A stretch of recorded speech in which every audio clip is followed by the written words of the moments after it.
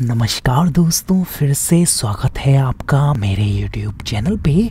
आज हम बात करेंगे ड्रग फेमोटिडीन के बारे में। इस वीडियो में हम जानेंगे इस दवाई के उपयोगों के बारे में। साथ के साथ जानेंगे इसके कॉन्ट्राइंडिकेशंस के बारे में कि किन कंडीशंस में आपको ये दवाई उपयोग में नहीं लेनी है। इसके अलावा इसके साइड इफ़ेक्ट्स के बारे में जानेंगे और साथ के साथ जानेंगे इसकी डोज के बारे में, और भी बहुत कुछ जानेंगे इस दवाई के बारे में। तो इसलिए इस वीडियो को आप बिल्कुल आखिरी तक देखना, और आपने मेरे चैनल को सब्सक्राइब नहीं किया है तो प्लीज़ बिना सब्सक्राइब करें मत जाइए। इस चैनल को ज़रूर सब्सक्राइब करें, और भी बहुत सारे वीडियोस आने वाले हैं। चलिए शुरू करते हैं दोस्तों। दोस्तों, सबसे पहले जानते हैं फेमोटिडीन दवाई के उपयोगों के बारे में। देखिए दोस्तों, इस दवाई का सबसे बड़ा उपयोग पेट में हो रही एसिडिटी की वजह से अल्सर्स जो बन जाते हैं, उसके ट्रीटमेंट में किया जाता है दोस्तों। साथ ही साथ जो कट्टी डकारें आने लग जाती हैं एसिडिटी की वजह से, जिसे गैस्ट्रोइसोफीजियल रिफ्लेक्स डिज़ीज़ भी बोलते हैं, जिसे जी ई आर डी भी बोलते हैं, उस कंडीशन में इस दवाई का उपयोग किया जाता है। साथ ही साथ यदि छाती में जलन हो रही है एसिडिटी की वजह से तो इस दवाई का उपयोग किया जाता है। दोस्तों फेमोटिडीन का जो मेन जो उपयोग है दोस्तों, वो हम कहें तो सिर्फ़ और सिर्फ़ पेट में एसिडिटी के ट्रीटमेंट में होता है।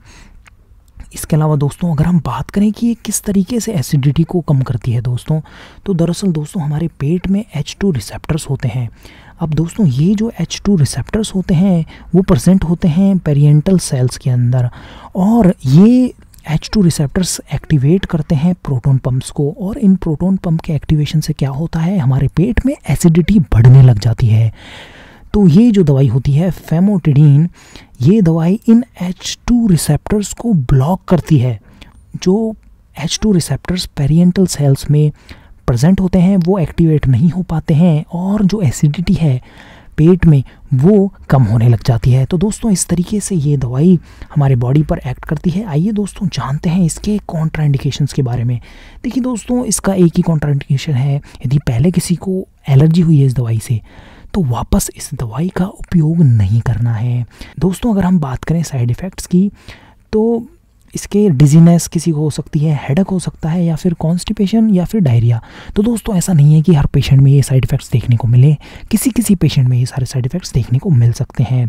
दोस्तों, अगर हम बात करें डोज की तो इसकी रात को सोते समय या फिर एक टाइम की जो डोज़ है, वो होती है फोर्टी एम और यदि हम इसको दो डोज में डिवाइड करें तो ट्वेंटी एम दो टाइम के लिए आठ वीक तक हम इसकी डोज ले सकते हैं, ताकि जो अल्सर्स में क्या होता है? धीरे धीरे धीरे धीरे आराम आता है। तो ये जो दवाई होती है, वो एसिडिटी को कम करती है और अल्सर्स में आराम देती है।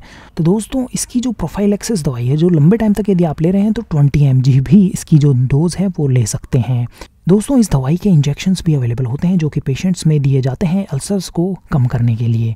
आइए दोस्तों, जानते हैं इसकी अवेलेबिलिटी की। तो मार्केट में इसकी टैबलेट्स अवेलेबल होती हैं ten M G twenty M G और फोर्टी एम जी की साथ के साथ ओरल सस्पेंशंस भी मार्केट में अवेलेबल होते हैं दोस्तों। Forty M G five M L का जो ओरल सस्पेंशन है वो अवेलेबल होता है। इसके अलावा इंजेक्शन भी अवेलेबल होता है टेन एम जी पर एम एल का। दोस्तों, इस दवाई को लेने के बाद में आपको मॉनिटर करना है कि आपको कितना अल्सर्स में आराम आया है। पेशेंट्स में जो सिम्टम्स होते हैं एसिडिटी की वजह से वो कितने कम हुए हैं, वो भी नोट करना बहुत ज़रूरी है। दोस्तों, ये था फेमोटिडीन दवाई के बारे में। ये वीडियो आपको कैसा लगा हो प्लीज़ आप कमेंट करें। इस वीडियो को ज़रूर लाइक करें और मेरे चैनल को ज़रूर सब्सक्राइब करें। ये वीडियो देखने के लिए धन्यवाद।